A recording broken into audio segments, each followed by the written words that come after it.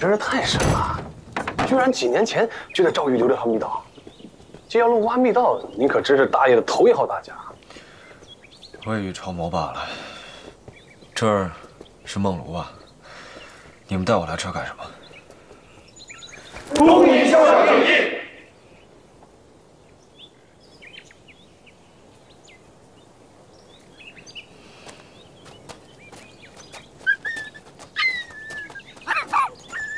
总算把您救回来了，您这狗儿子都等着急了。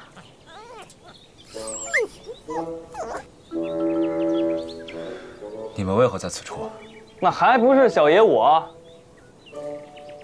还没来得及告诉您，前些日子咱们四处东躲西藏，幸好半路遇到了小王爷，就躲这儿了。你们这些招定位啊，平日里拽的都快上天了，怎么样？关键时刻没我不行吧？啊，嘿嘿。说什么呢？没有谁不行啊！我看你是欠抽吧你！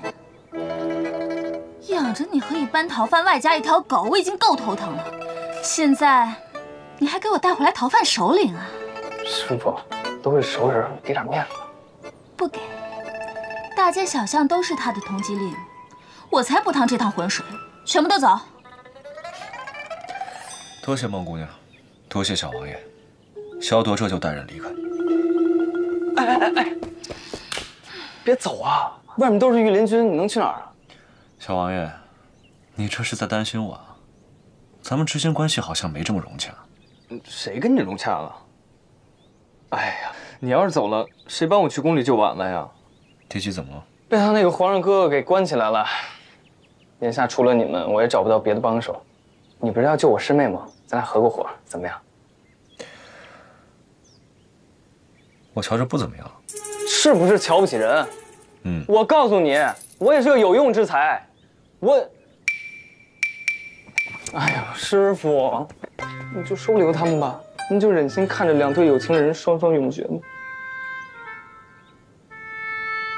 切，撒手。